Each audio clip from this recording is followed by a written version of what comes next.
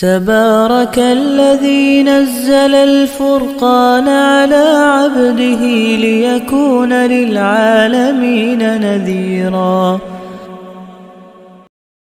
اسلامی تاریخ مدینہ کی حفاظت کی تدبیر شوال پانچ ہجری میں رسول اللہ صلی اللہ علیہ وسلم کو اطلاع ملی کہ قریش اور یہود متحد ہو کر مدینہ پر حملہ کرنا چاہتے ہیں اور مسلمانوں کے وجود کو ہمیشہ کے لیے مٹانا چاہتے ہیں۔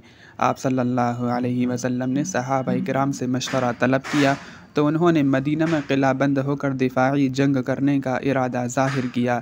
اس موقع پر سلمان فارسی رضی اللہ عنہ نے گھڑ سواروں کے حملے سے بچنے کے لیے خندق کھودنے کا مشورہ دیا۔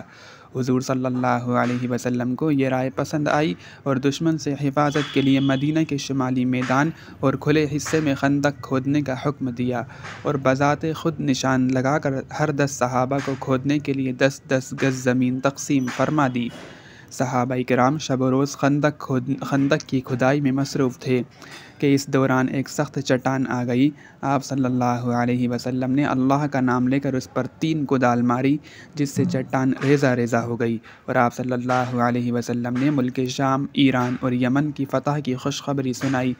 غرض تین ہزار جانی سار صحابہ نے چھ دن میں تقریباً تین کلومیٹر لمبی پانچ گز چوڑی پانچ گز گہری خندق کھود کر تیار کر دی۔